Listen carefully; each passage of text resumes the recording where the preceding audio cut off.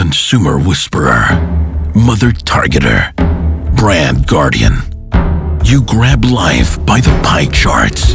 You speak for the ones that can't. For the sports drinks, the pet foods, the male grooming products, and the bathroom tissue.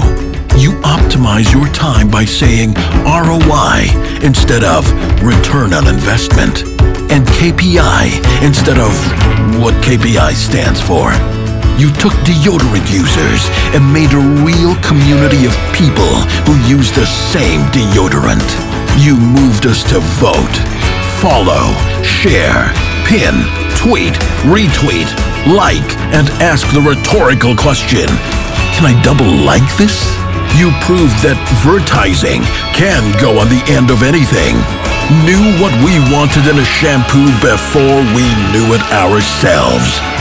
Made us cry twice with an ad for juice.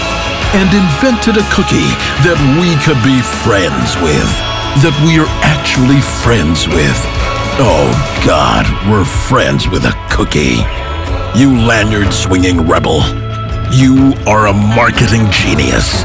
And this is your call to action.